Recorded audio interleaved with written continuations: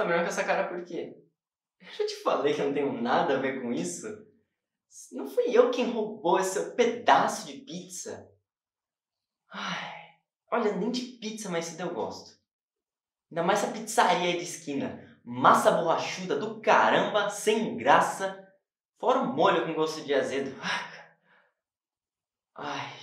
Aliás, eu não te falo nada, mas já que você tá aí todo pilhado me enfiando o dedo, quem são esses seus amiguinhos que você anda trazendo aqui pra República? Porque ontem mesmo eu dei falta de uma latinha de refrigerante que eu deixei lá na geladeira. Eu nem ia te falar nada, mas já que você tá aí todo pilhado me enfiando o dedo, eu falo. Ai, eu não vejo a hora de juntar uma grana e vazar daqui.